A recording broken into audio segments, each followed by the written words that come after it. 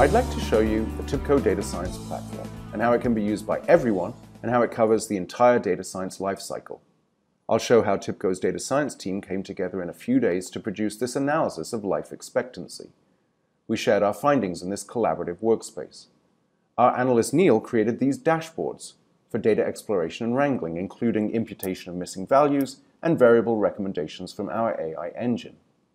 As a business user, I was able to understand these visual workflows and add my own basic models using AutoML and use decision trees for easy interpretation. Prem, our data scientist, created this set of predictive models. And we were easily able to add more advanced models that our developer Emily had coded in a Python notebook. Prem then deployed the best models for batch scoring on a schedule and for real-time scoring that was approved for production use. And finally, our models were deployed back into our dashboards to be analyzed by Neil for policy recommendations. To start, we went to the HDX website where there was World Bank database data and World Health Organization data for indicators on countries around the globe. We downloaded those CSVs, which we could simply drag and drop into Spotfire. Now, Spotfire automatically recognized the structure of those CSVs and recommended that we combine all the health indicator data together and the World Bank indicator data together. This was automatically recorded in the Spotfire data canvas, which is fully editable to the user. Now we need to combine the two different data tables, so we'll add rows, and even though the data has different column names, we can choose to match them up and stack them into the same data table. Next, we need to go ahead and filter down to our years of interest, the years 2000 to 2016. Any data transformation that I do is automatically logged in Spotfire and is fully editable. Now the data table preview shows me that this is all in a tall and narrow format with indicators and values in one column. So I'll need to pivot this into a wide format and I'll use Spotfire's pivoting transformation for that.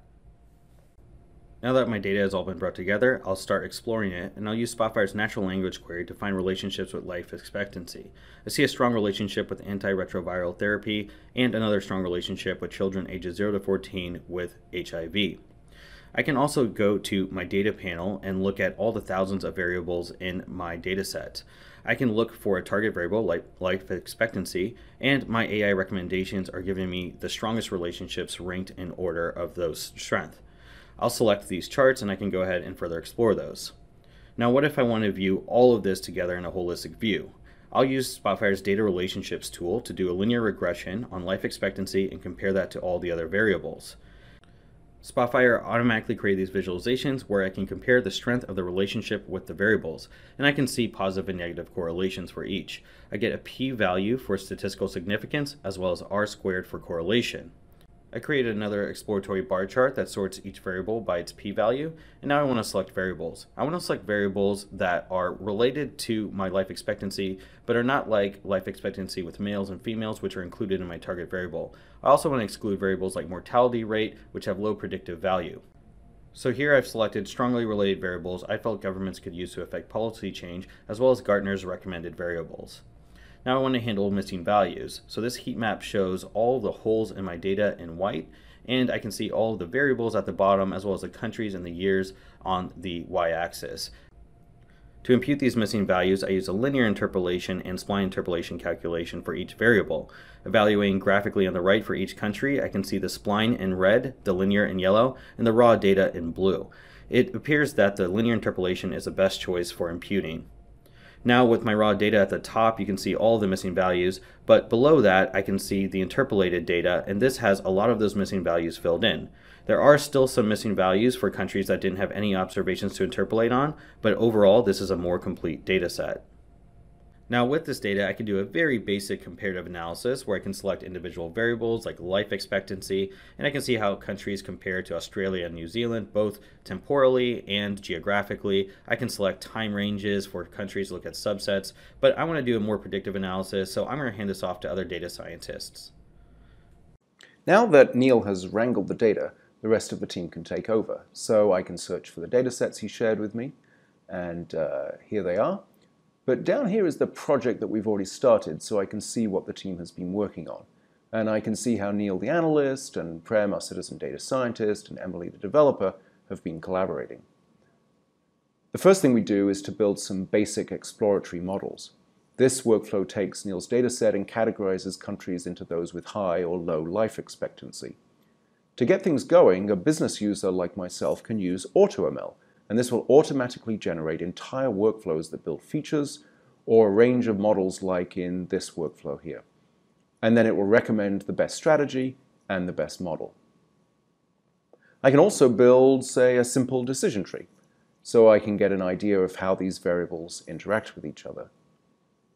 Using that as a starting point, Prem and I can build other classification models and evaluate them using standard methods like ROC charts and confusion matrices and so on. But now I can pass control over to Prem to build more sophisticated regression models, and you can see he's been helped here by the rest of the team developing a full modeling workflow to build regressions that predict longevity. We start with some basic data prep, filtering to a reduced list of countries and filtering out columns that have very few values in the dataset. Then we replace any null values. To select which variables to use, we use correlation filtering. It automatically filters out any variables that are too closely correlated. Here you see one metric for unemployment is too similar to another, so we throw it out. Then we normalize. As always, no coding required, easy to configure. And then we split into training and testing, and we build our models. It's very easy to set these up. For example, this random forest is just dragged onto the workflow. You choose your variables, and then you can use default or optimized parameters. We can then evaluate the models using standard statistics like R squared and MAPE, and we can look at charts of predicted versus actuals. There's a couple of models here that seem to predict pretty well. Still, we decided we wanted to add a nice sklearn version of an AdaBoost model. So we asked Emily to create this as a Python notebook. She works in her own environment, and then the engine can inspect her code, understand the inputs and outputs, and then fit it back into the visual workflow. Then we can join her results to the other predictions and choose the model we prefer. We're going to use gradient boosted trees for batch scoring, but linear regression is faster for real-time scoring. So we export those out for use later. We've also got our measures of variable importance, and we're ready for deployment. Having built his models, Prem exports them to the workspace where they can be used for deployment. Now the simplest way to deploy is for batch scoring in another workflow. This workflow tests the accuracy of the loaded model against the latest data, and if the error is too high, then the workflow fails. This can then be deployed as a scheduled job where we run some code, train our models, and test them for accuracy, sending an email alert on failure. Or Prem can simply click a button to create a REST engine for real-time scoring and test that it gives the right response, 83 years of age for Australia. But most importantly, we can deploy live models back to our dashboard for analysis by Neil. After the rest of the team has completed their predictive analysis workflow in TIBCO Data Science, I can connect directly to the workflow from Spotfire and get different predictions by country. So if I select Australia and rerun the workflow, I'll get results for Australia. After the workflow re-executes, I can explore life expectancy over time and how the different regression models performed. I can see that the AdaBoost method from my Python notebook performed pretty well compared to the actual life expectancy values. I can also explore the other regression methods from the TIBCO Data Science workflow and see how they compared to the actual as well. In the center here, I have variable importance by Australia and across all of my countries in my dataset for worldwide.